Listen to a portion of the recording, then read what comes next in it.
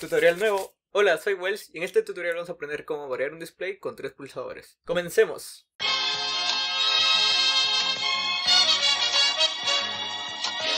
Lo primero que haremos es abrir el MPLAB X. Luego nos vamos a File, New Project, dejamos como está, ponemos siguiente y buscamos el PIC 18F4550. Luego seleccionamos el PIC 3 de compilador el XC8. Luego creamos la carpeta donde queremos guardarlo y le colocamos el nombre display 7 segmentos y finalizar. Ya tenemos listo el proyecto, pero nos faltan los archivos.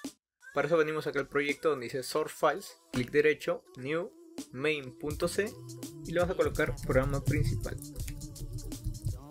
También voy a crear los otros archivos que son configuración,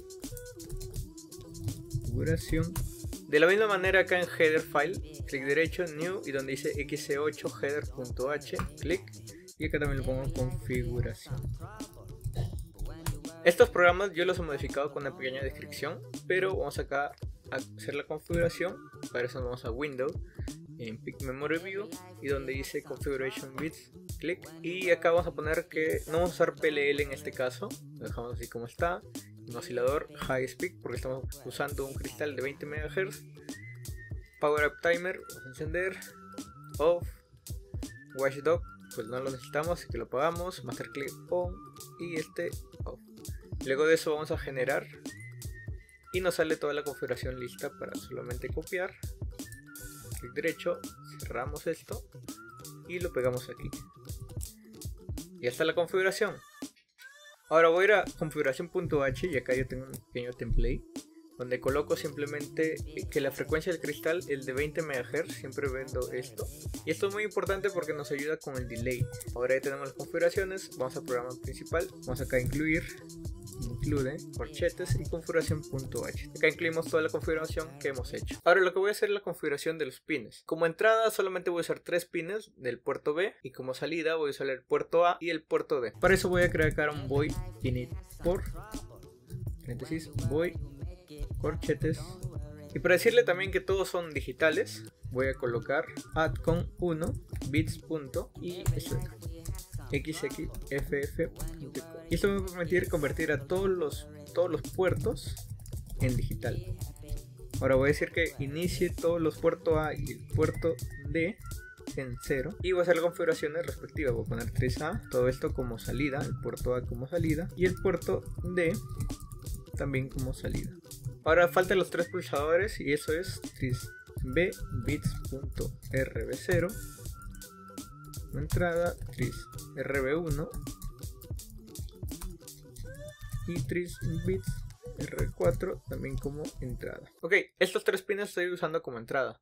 Pero también voy a usar una característica y es el pull up. ¿Y qué es el pull up? Pues el pull up es lo que mantiene a las entradas en este caso como uno lógico. Hasta que nosotros presionamos el pulsador y lo convierta esto en un cero lógico. Si quieres saber un poco más sobre pull up, lo, lo expliqué más en el anterior video, te dejo acá y en la descripción. Para activar las resistencias de pull up necesito poner acá un in con 2 bits punto rbpu y esto de acá lo coloco en 0.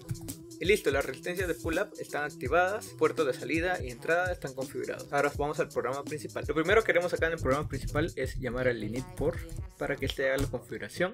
Luego de eso vamos a poner un while 1, abrimos llaves y acá vamos a hacer las preguntas del puerto B en los bits RB0 o RB4 primero. Si es idéntico a 0, o sea, quiere decir que si ha sido presionado, lo que va a hacer acá es que vamos a encender un LAT bits, vamos encender este y vamos a apagar el otro LED. Encendemos uno y apagamos el otro punto y coma. Y vamos a hacer un for para la cuenta ascendente que va a ir del de I0 punto y coma en hora 10 y más más. Y vamos a decir que puerto D sea igual o Aquí nos falta algo todavía, y es que no hemos declarado uno la variable i y el otro una, un array de donde nos va a mostrar toda la cuenta del display o todos los números o todos los datos. Por eso voy a poner primero acá el int y está declarado y ahora el display, poner un int también, display, va a ser un array de 10 datos, colocar acá, igual, llave llave, punto y coma, y acá yo tengo ya los datos todos estos datos son para un display de cátodo común. Acá lo que faltaría es el display. Coloco entre corchetes y coma y un delay de 500 milisegundos.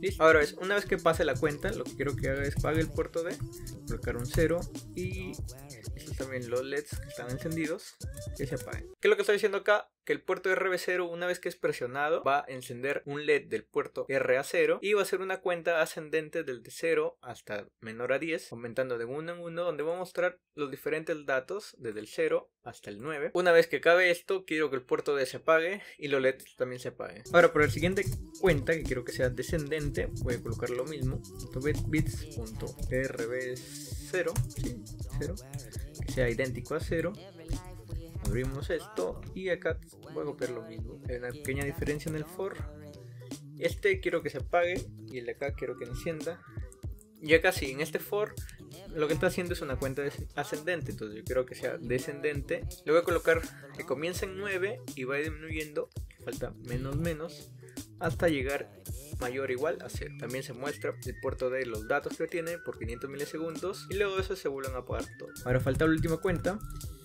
por b bit.rb1 si es idéntico a 0. Abrimos llaves y acabo de colocar esto también. Voy a hacer que los dos se enciendan esta vez. Y en vez de colocar un for, voy a colocar solamente que se encienda un número o aparezca un número. Voy a colocar acá el número 4.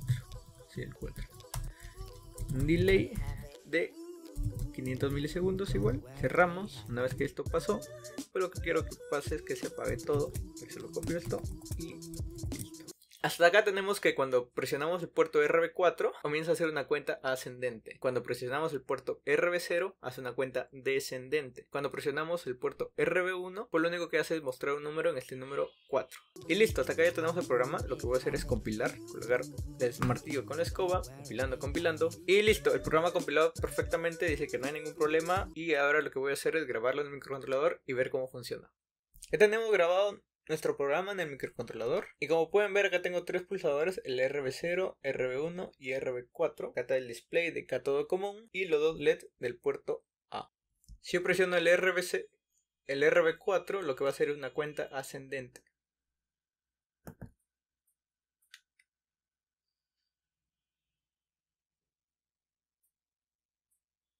Además de eso se prende el LED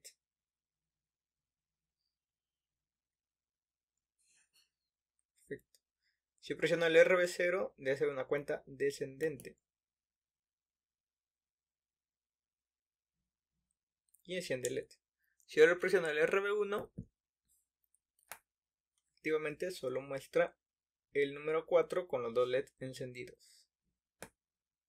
Como pueden ver está conectado el display de cátodo común, una resistencia a tierra y la otra también resistencia también a tierra. Todos los pines salen del puerto D Estoy usando un cristal de 20 MHz y dos LEDs. Y acá están los tres pulsadores del R, RB4, RB0 y RB1. Así que esto es todo por este tutorial. No se olviden suscribirse, darle like y compartirlo. Chao, chao.